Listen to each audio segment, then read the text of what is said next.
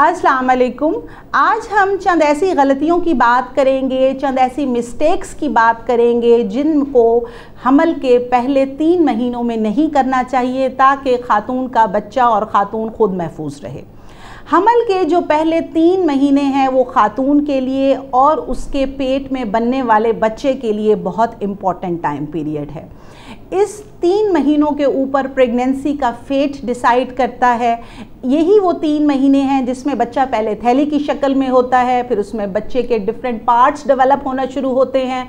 बच्चे की दिल की धड़कन आती है, बच्चे के बॉडी पार्ट्स में ऑर्गेनोजेनेसिस होती है और वो एक इंसानी शक्ल में आता है और वो टाइम पीरियड इसलिए इंपॉर्टेंट है क्योंकि इसके अंदर बाज़ दफ़ा एबॉर्शंस भी रिपोर्ट होती हैं।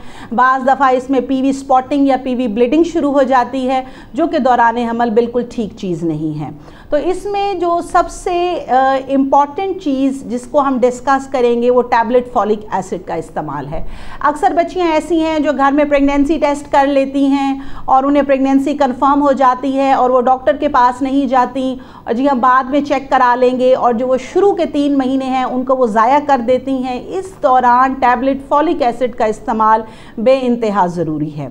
टैबलेट फॉलिक एसिड की गोली एक ऐसी गोली है जो बच्चे के अंदर पैदाइशी नकाइस नहीं होने देती, ये बच्चे को महफूज रखती है और इस गोली के इस्तेमाल से बच्चा ज़ाया नहीं होता, औरत की यूट्रस महफूज रहती है।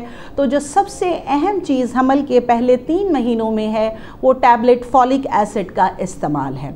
दूसरी अहम चीज़ स्ट्रेस लेवल है कि प्रेगनेंसी को जो है वो हामला खातून कैसे परसीव करती है। इसके अंदर आप देखें कि मुख्तलिफ़ तरह के केमिकल्स और हारमोन्स रिलीज़ होने की वजह से बच्चियों में मूड स्विंग्स आते हैं। बाज़ दफ़ा बच्चियाँ बहुत ओवर एक्साइटेड और खुशी महसूस करती हैं। बाज़ दफ़ा बच्चियाँ प्रेगनेंसी के साथ टेंशन में आ जाती हैं। वो छोटी छोटी बात पे रोना धोना शुरू कर देती हैं या गुस्सा करना शुरू कर देती हैं। बाज़ बच्चियाँ बहुत ज़्यादा सोना शुरू कर देती हैं।